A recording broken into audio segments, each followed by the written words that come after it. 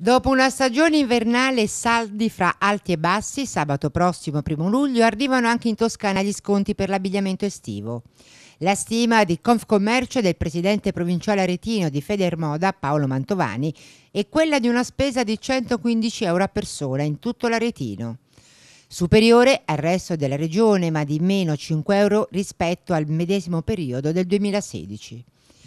I numeri dicono di circa 700 negozi pronti ai saldi, con un ribasso medio del 30% al termine però di un periodo che ha visto già una buona risposta da parte della clientela.